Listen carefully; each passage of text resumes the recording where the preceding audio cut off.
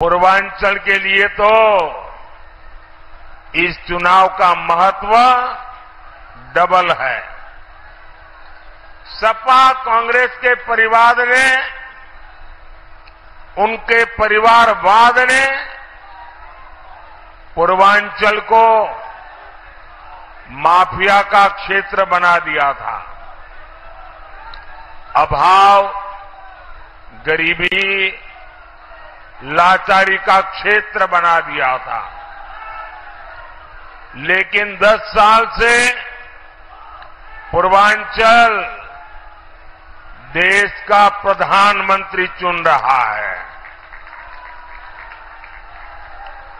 सात साल से पूर्वांचल उत्तर प्रदेश का मुख्यमंत्री चुन रहा है।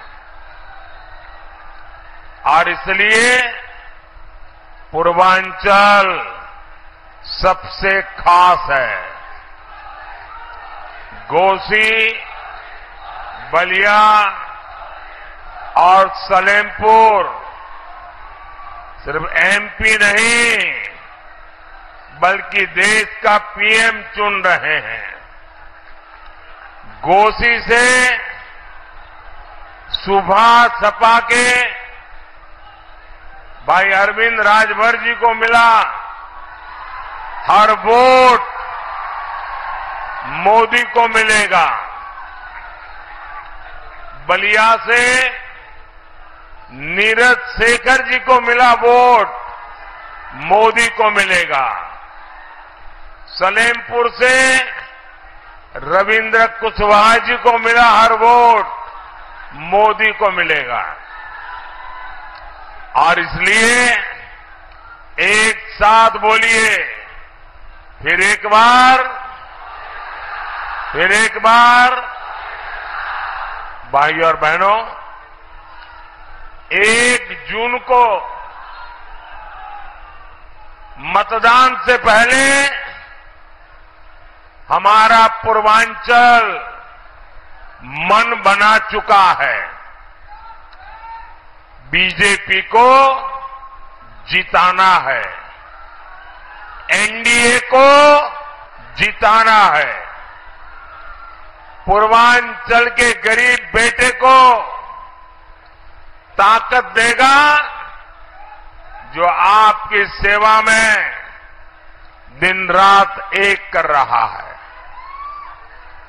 पूर्वांचल उसे ताकत नहीं देगा। जो आपको गरीब बनाए रखना चाहते हैं। आज मोदी आपका पक्का घर बना रहा है। आज मोदी आपकी प्रॉपर्टी के पक्के कागज़, यानी घरौनी बनाकर दे रहा है। इसलिए हमारे सभी देशवासियों ने ठान लिया है। आप सबका मक्कम निर्धार है। आपका आशीर्वाद मोदी के साथ है।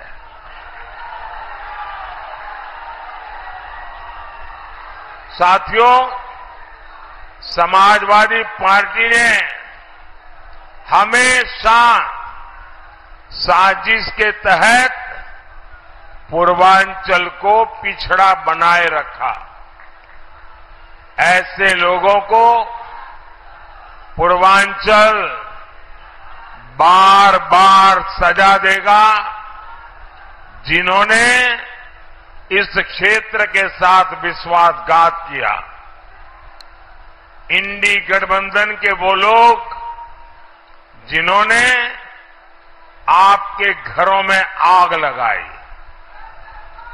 जिन्होंने आपकी जमीनों पर कब्जे किए, जिन्होंने यहाँ दंगाइयों को ताकत दी, जो माफिया के लिए आँसू बहाते हैं, ऐसे लोगों को अब पूर्वांचल में पैर नहीं रखने देना है।